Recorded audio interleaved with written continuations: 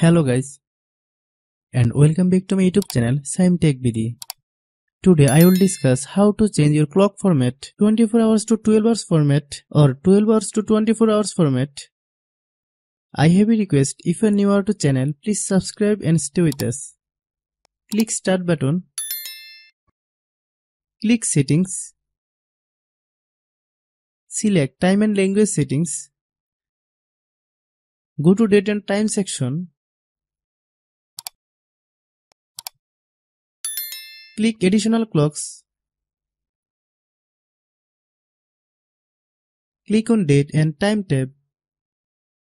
Click change date and time. Then click change calendar settings.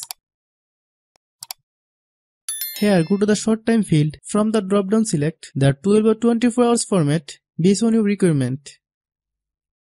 For instance, if you want to select a 12 hours format, you can select small s format. If you want to select a 24 hours format, you can select capital S format.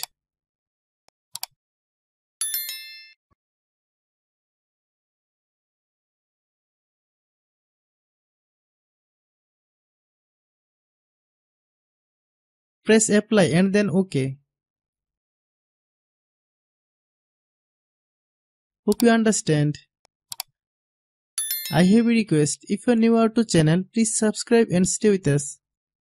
By watching my tutorial for more tech videos, you can subscribe.